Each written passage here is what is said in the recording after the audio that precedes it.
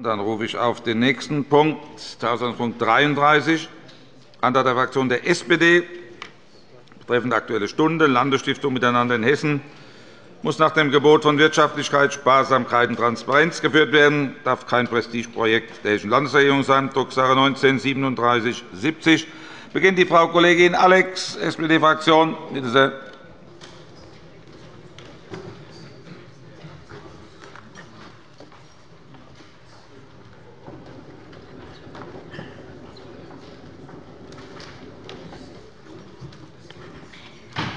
Herr Präsident, meine Damen und Herren! Ich beginne mit einem Zitat des Ministerpräsidenten Volker Bouffier von Ende 2014. Die Gründung unserer Landesstiftung war für mich eine Herzensangelegenheit. Nach drei Jahren hat Miteinander in Hessen schon viel in unserem Land bewegt. Das ist eine sehr feine Ironie. Denn damals haben das natürlich nur diejenigen verstanden, die wussten, dass die Stiftung in einer katastrophalen Lage ist. Und erst heute, nachdem durch eine Anfrage der SPD-Fraktion zutage gekommen ist, dass die Situation ebenso ist, wie sie ist mit dem Missverhältnis von Förderung und Verwaltungsaufwand, mit der Personalfluktuation usw. So erst Heute können wir alle diese Ironie würdigen.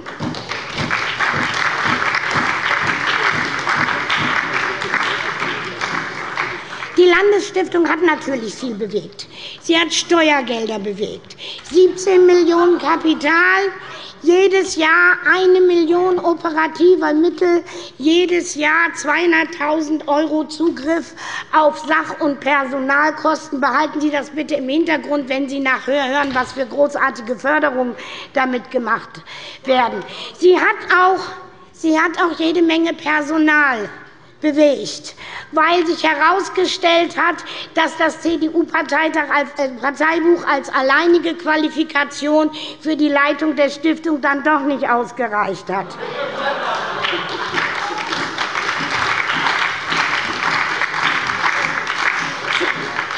Sie hat sich selbst bewegt, nämlich von der Staatskanzlei ins Schenksche Haus. Die Stadt Wiesbaden freut sich jedes Jahr im Jahr 2015 allein 45.000 € Miete und Nebenkosten auf zwei Etagen für anderthalb bis zwei Leute. Das, das ist ein guter Mieter. Äh, sie hat natürlich auch, sie hat natürlich auch äh, ähm, 2013, als sie in der Öffentlichkeit noch gerne aufgetreten ist, was sie jetzt ja weniger tut, vielleicht den einen oder anderen Wähler im Wahljahr für dieser herzensguten Landesregierung überzeugen können. Was sie nicht bewegt hat, ist den Bürgerbus in Bad Homburg. Der hätte von, äh, Entschuldigung, Homberg in Homberg-Efze. In Homberg-Efze hätte nämlich vor den Sommerferien der Bürgerbus fahren sollen. Aber da das Geld von der Stiftung einfach nicht kommt, steht der Bürgerbus in Homberg-Efze eben auch noch still. Im Jahre 2015 hat sie dann die nächste Schwierigkeit. Sie hat nämlich das Stiftungsvermögen nicht erhalten können. Sie hat es real nicht erhalten können. Das wäre äh, für den Landesrechnungshof eigentlich schon von großem Interesse. Sie hat es aber auch nominal nicht erhalten können. Und das verstößt gegen das Stiftungsgesetz. Ein Gesetzesverstoß, der folgendermaßen begründet wird. Momentaufnahme.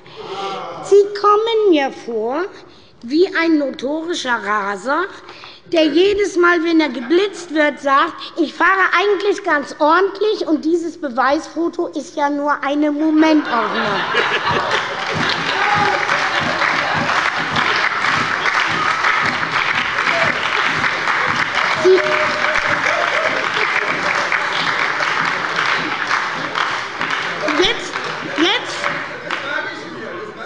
Jetzt wollen, Sie, jetzt wollen Sie Transparenz schaffen, aber die Transparenz ist nur eine Transparenz der Worte. Denn wir haben eine große Anfrage, deren Beantwortung wäre Ende dieser Woche fällig geworden. Die ist verschoben auf Ende November. Deswegen haben wir nämlich heute eine Aktuelle Stunde. Sie wollen keine Transparenz schaffen. Nein, Sie beklagen vielmehr, Sie genau die Sachen, die Sie selber eingerichtet haben, z. B. das große, prominente Kuratorium. Sie beklagen Voraussetzungen, mit denen Sie geworben haben, nämlich die Zustiftung von Dritten, die nicht kommen, oder die niedrige Rendite. Das haben Sie zu verantworten. Deswegen, meine Damen und Herren, fordern wir Sie auf, zeigen Sie wirklich Transparenz bei der Stiftung? Gehen Sie mit der Herzensangelegenheit des Ministerpräsidenten ordentlich um.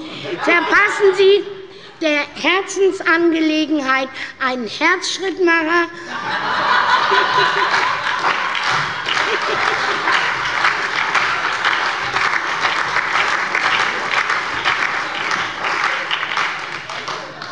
Wenn Sie die Herzensangelegenheit auch zu einer Verstandesangelegenheit machen, dann sind wir zufrieden. Danke schön.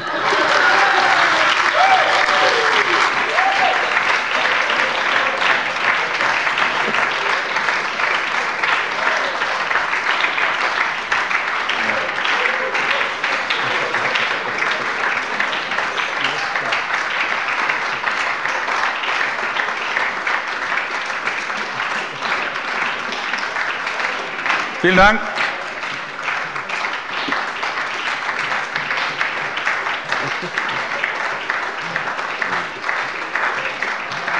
Vielen Dank, Frau Kollegin Alex.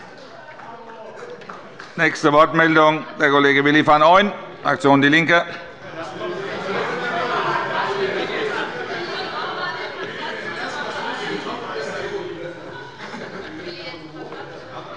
Herr Präsident, meine Damen und Herren! Äh, so genüsslich äh, habt ihr es jetzt nicht mit mir. Ihr müsst ein bisschen nüchternere äh, Daten und Fakten zur Kenntnis nehmen. Aber ich versuche mal, wenigstens inhaltlich dort anzuknüpfen, wo Frau Alex stehen geblieben ist.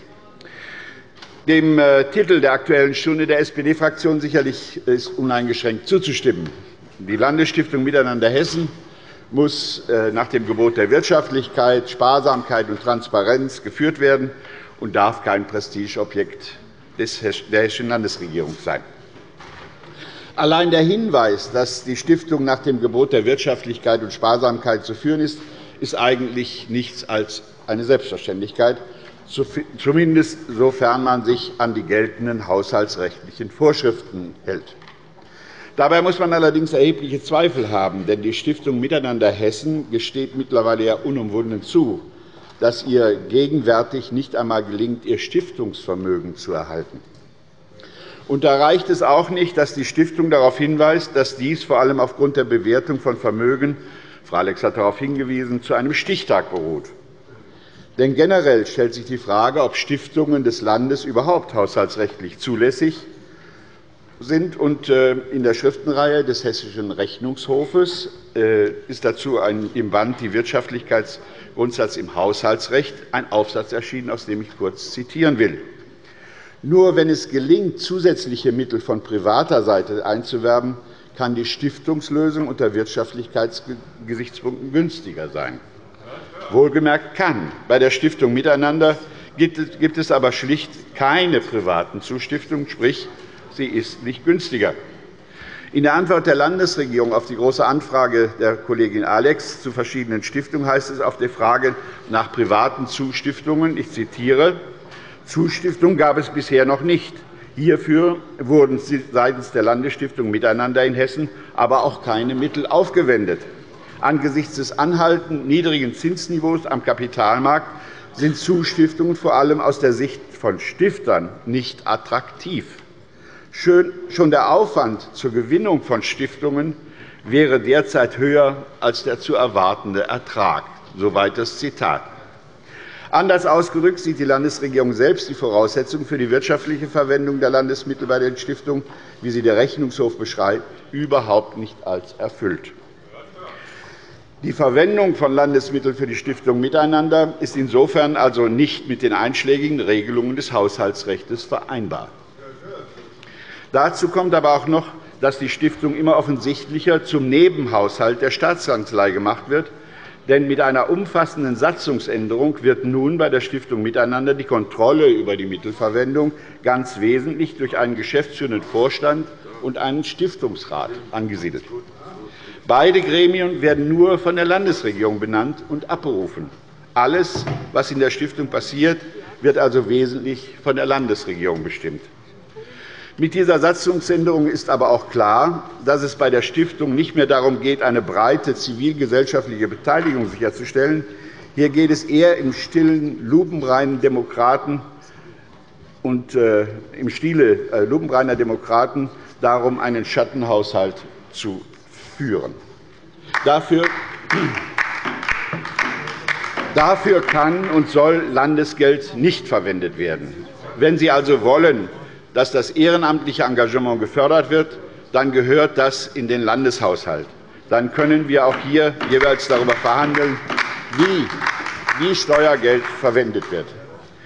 Dies kann ganz ohne die intransparente Stiftungslösung geschehen, die nur dazu dient, möglichst schöne Bilder mit dem Leiter der Staatskanzlei zu liefern und bezahlte Geschäftsführerposten zu schaffen, bei denen sich auch die Frage stellt, inwieweit die Besetzung aufgrund der fachlichen Eignung erfolgt oder ob nicht doch eine gewisse politische Nähe zu Teilen der Landesregierung entscheidend ist. Ich fordere Sie daher auf, die Aufgaben der Stiftung wieder in den Landeshaushalt zurückzuholen und die Stiftung aufzulösen. Auch die Verquickung auch die Verquickung unterschiedlicher Aufgaben in der personellen Struktur der Stiftung miteinander würde dann sicherlich kein Problem mehr darstellen. Vielen Dank.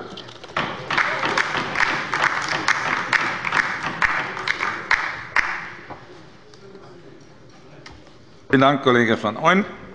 Nächster Redner ist der Abg. Jörg-Uwe Hahn, FDP-Fraktion.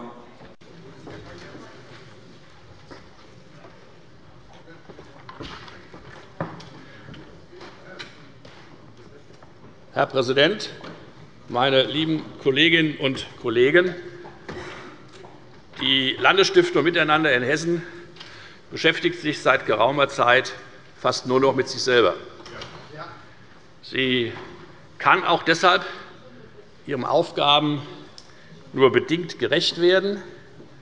Jetzt kommt sicherlich durch die Beantwortung der Großen Anfrage der Fraktion der SPD weitere Selbstbeschäftigungsarbeit auf die Stiftung zu. Die Stiftung zeichnet sich leider in den letzten Monaten oder vielleicht auch schon anderthalb Jahren dadurch aus, dass es Umsetzungen, Absetzungen, Rücktritte gibt. Der Geschäftsführung, Vorstand, im Kuratorium.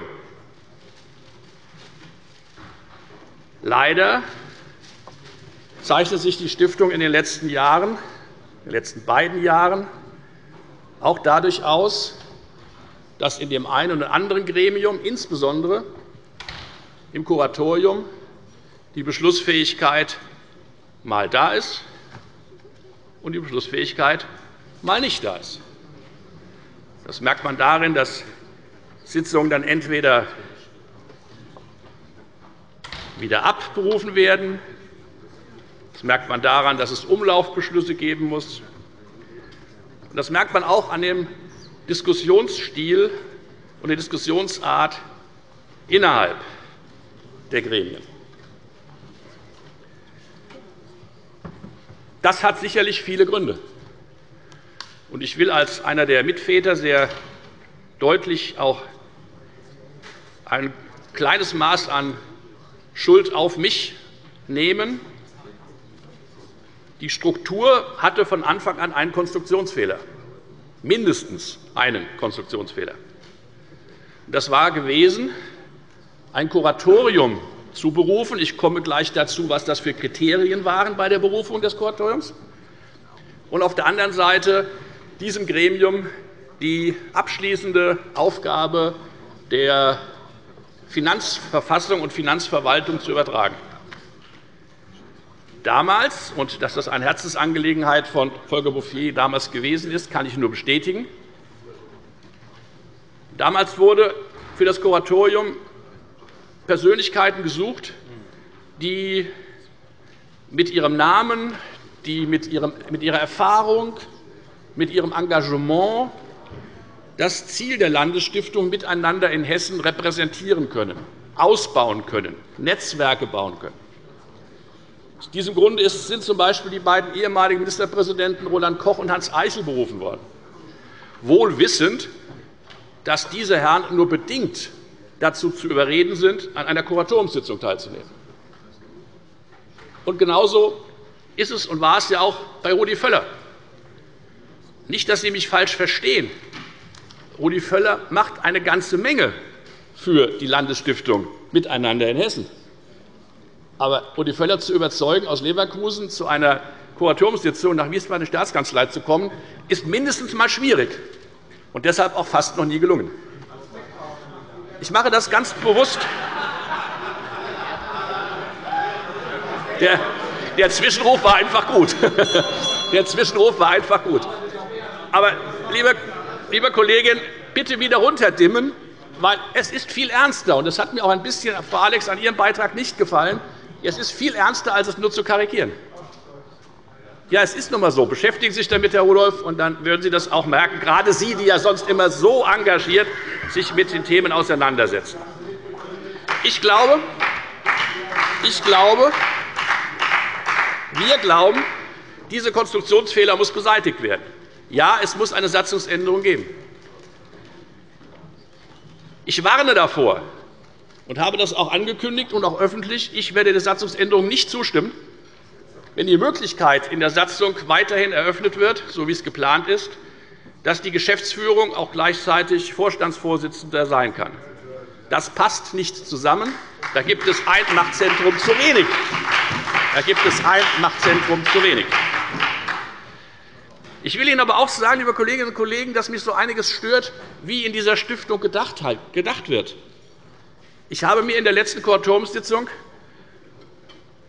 ja, ich wollte es eigentlich nicht glauben, aber mehrfach anhören müssen, dass es ja eigentlich, ich überspitze jetzt polemisch, störend sei, dass man sich im politischen Umfeld bewege.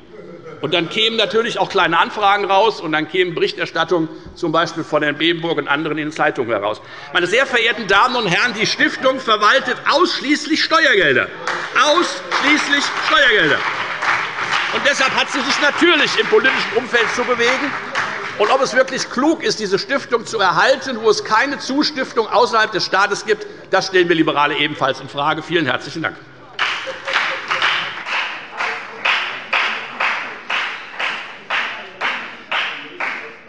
Herzlichen Dank. Das Wort hat der Kollege Klaus-Peter Müller, CDU-Fraktion.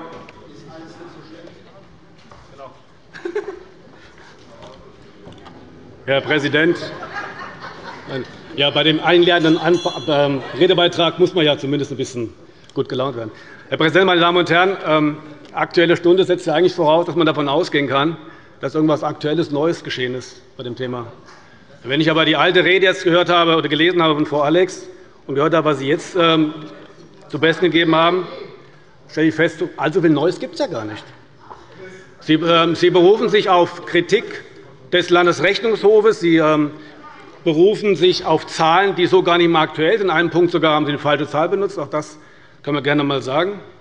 Insofern lässt sich schon die Frage stellen, brauchen wir für dieses Thema heute tatsächlich eine Aktuelle Stunde?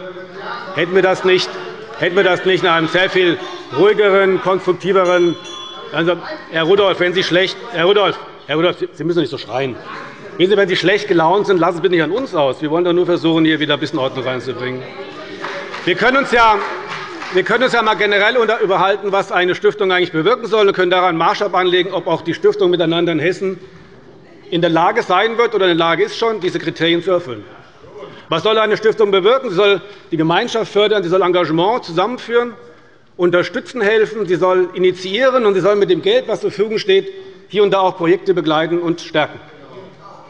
70 Projekte, knapp 2 Millionen € in diverse Projekte ausgeschüttet. Ich finde, der Zweck wird von der Stiftung erfüllt. Und wenn Sie generelle Kritik an der Stiftung hier vortragen, das ist Ihr gutes Recht, dann wäre ich neugierig, ob Sie den vielen Institutionen, Vereinen, Verbänden und Initiativen auch ins Gesicht sagen wollen, vielleicht direkt nachdem Geld gekommen ist, um sehr schöne Sachen zu fördern, dass Sie gegen diese Stiftung in der Art sind, dass Sie infrage stellen, ob wir eine Sinnhaftigkeit sehen, die Stiftung.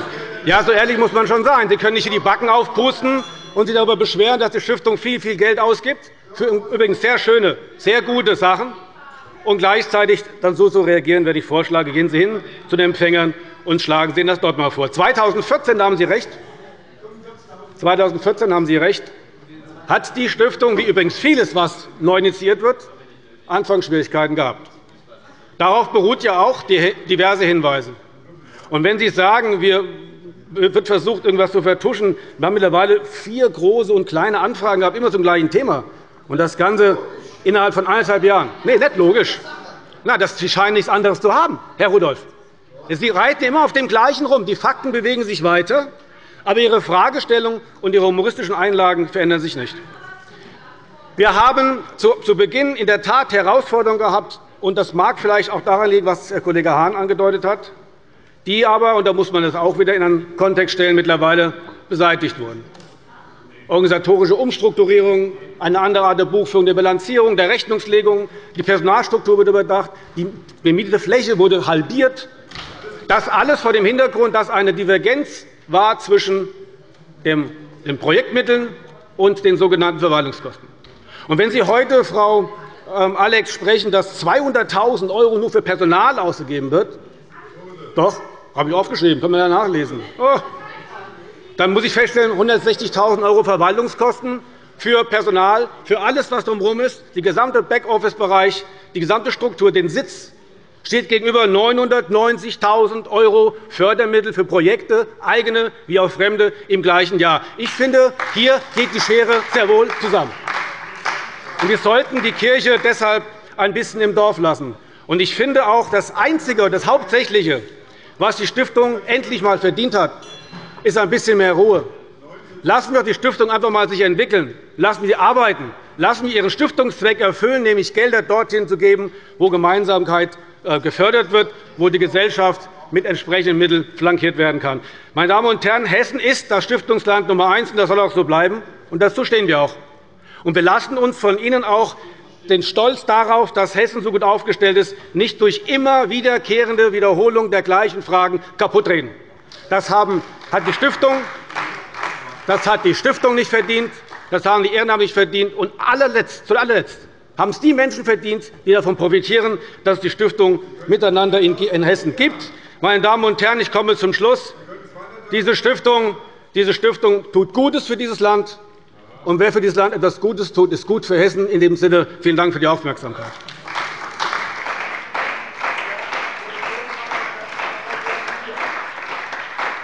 Vielen Dank, lieber Kollege Klaus-Peter Müller. Das Wort hat der Abg. Frank-Peter Kaufmann, BÜNDNIS 90 die GRÜNEN.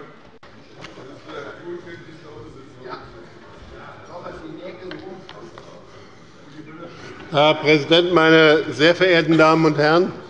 Der Titel dieser von der SPD beantragten Aktuellen Stunde lautet die Landesstiftung Miteinander in Hessen muss nach dem Gebot von Wirtschaftlichkeit, Sparsamkeit und Transparenz geführt werden und darf kein Prestigeprojekt der Hessischen Landesregierung sein.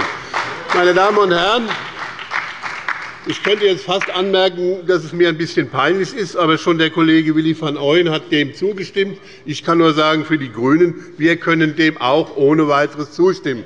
Dieser Satz ist richtig. Wenn man es genauer betrachtet, ist dieser Satz allerdings die Formulierung einer Selbstverständlichkeit, nämlich des sparsamen und transparenten Finanzgebaren.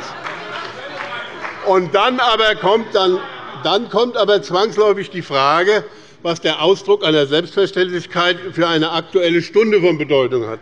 Man fragt sich das nämlich umso mehr, als wir dieses Thema im Februar dieses Jahres, also noch nicht so lange her, im Plenum bereits ausführlich diskutiert haben. Und damals wurde dasselbe dargestellt, was heute wieder Thema ist, nämlich, dass die Stiftung Miteinander in Hessen einen Prozess eingeleitet hat, um sich in ihren Strukturen neu aufzustellen. wir haben damals festgestellt und können heute feststellen, auch nach dem Stand der Debatte, das war und ist geboten. Die Gründungsphase ist abgeschlossen. Es wurden einige Probleme identifiziert. und Deswegen ist jetzt in der Tat eine Neuaufstellung angesagt. Meine Damen und Herren, soweit mir bekannt ist, ist dieses Verfahren, und der Kollege Hahn hat ja auch darauf hingewiesen, noch im Gange. Es gab eine Kuratoriumssitzung, wo das erörtert wurde, wo grundsätzlich äh, die Weiterentwicklung begrüßt worden ist. Aber es stehen noch Fragen offen. Sie haben Ihr Stimmverhalten an einer bestimmten Stelle markiert. Ich kann einmal sagen, wir wollen den Prozess konstruktiv begleiten und mithelfen, die Anlaufschwierigkeiten jetzt endgültig zu überwinden. Und in diesen Fragen sind wir durchaus auch offen. Es sollte eine Lösung gefunden werden, die möglichst breit getragen wird.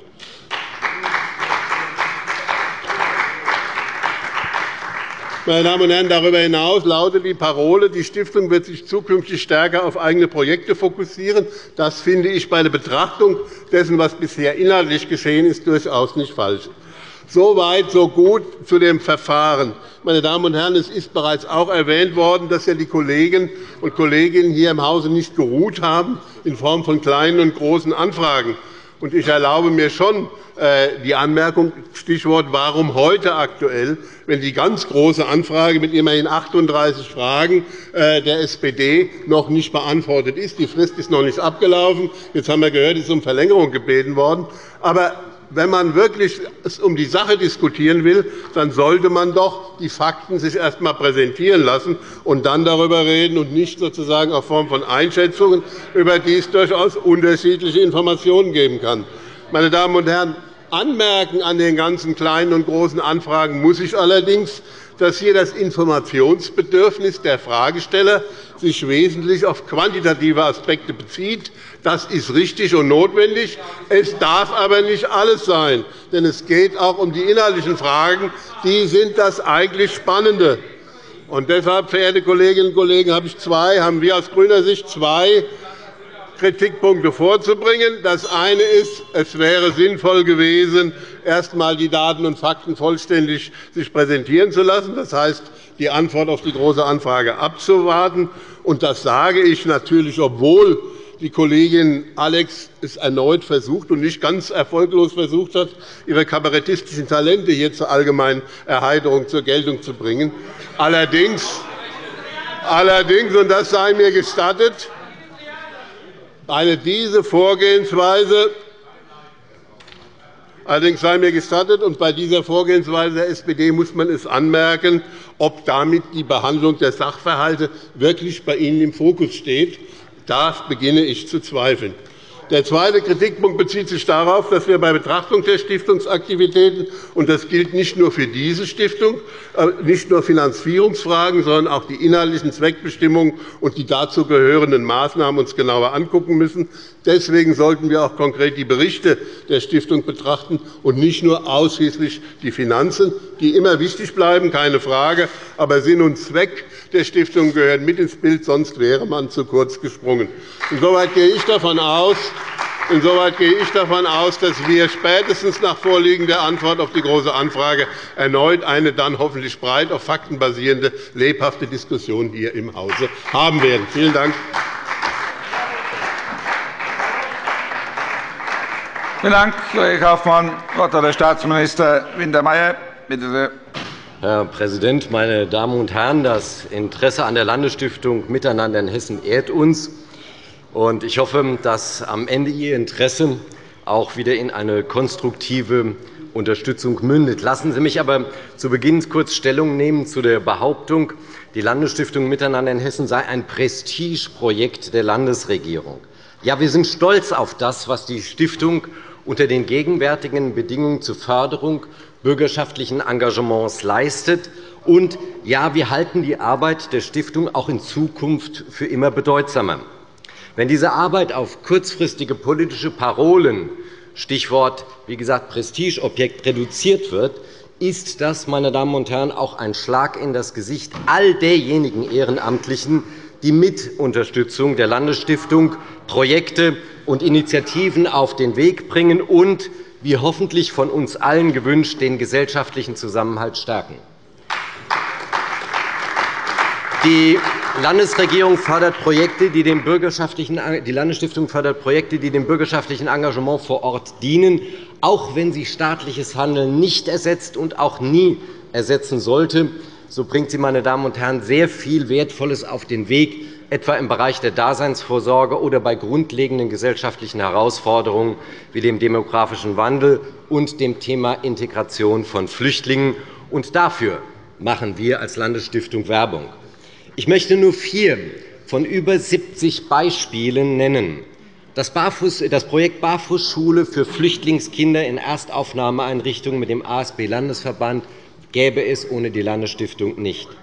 Die Gründung eines ehrenamtlichen Hospizdienstes mit dem Malteser Hilfsdienst in Frankfurt. Das Projekt Lachen verbindet Generationen mit dem Verein Die Clowndoktoren und die angekommenen Perspektiven für Flüchtlinge in Wiesbaden mit dem hiesigen Freiwilligenzentrum. Um diesen Aufgaben gerecht zu werden, braucht die Stiftung eine angemessene Ausstattung und Strukturen, die funktionieren und sie muss auch bei Veränderungen lernfähig sein. Daher hat die Landesstiftung nach dem Ende der Aufbauphase ihre Arbeit und Struktur evaluiert und gehandelt. Ziel war es und bleibt es, die Landesstiftung in ihrer Wirkung weiter zu stärken und auch unter den Bedingungen eines volatilen Kapitalmarktes zukunftsfähig aufzustellen. Das meine ich, ist gelungen. Lassen Sie es mich auch in Zahlen ausdrücken. Im Jahr 2015 hat die Landesstiftung Miteinander in Hessen rund 995.000 € für Projektarbeit eingesetzt. Seit ihrer Gründung wurden in Erfüllung des Stiftungsauftrags über 70 Projekte gefördert und drei Eigenprojekte initiiert bzw. entwickelt. Hierfür wurden seit Gründung insgesamt 2 Millionen € aufgewendet.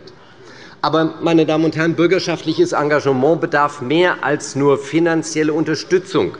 Die Landesstiftung sieht ihre Aufgabe nicht primär darin, finanzielle Mittel im Land zu verteilen, sondern sie sieht ihre Aufgabe auch darin, den ehrenamtlich Engagierten zugleich fachliche Unterstützung bei der Realisierung ihrer Vorhaben anzubieten.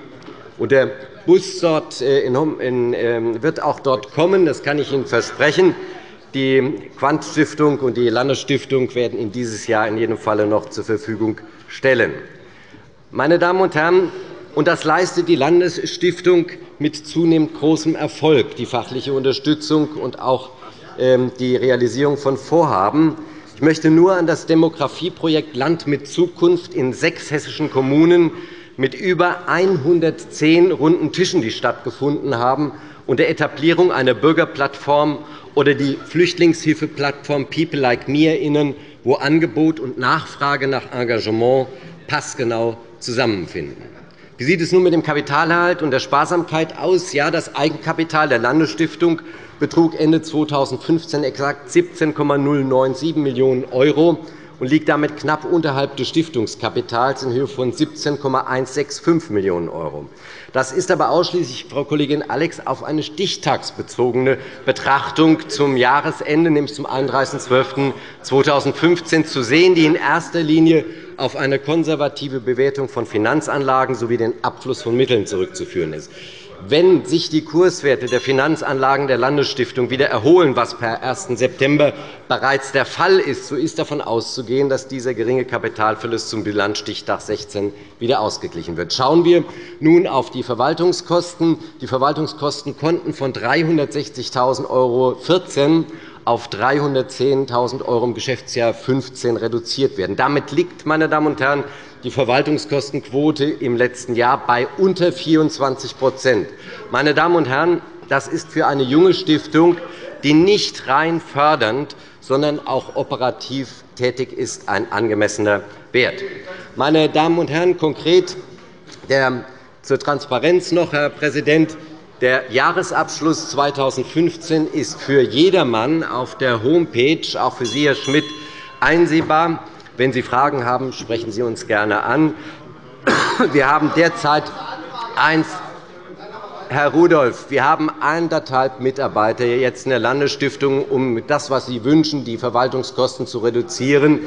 Anderthalb Mitarbeiter müssen die Projekte begleiten, müssen die Stiftung verwalten, müssen ihre Anfragen beantworten. Da müssen Sie sich notfalls auch ein wenig gedulden. Meine Damen und Herren, Die Landesstiftung Miteinander in Hessen hat jede Unterstützung verdient. Denn es ist uns aller Ziel, das bürgerschaftliche Engagement und freiwillige private Initiativen in Hessen zügig und flexibel voranzubringen. Und dazu braucht es nicht immer staatliche Hilfe. Ich würde mir mehr Miteinander in der Sache als Gegeneinander im Rahmen Aktueller Stunden wünschen. Die Landesstiftung lädt zu diesem Miteinander Sie gerne ein. – Herzlichen Dank.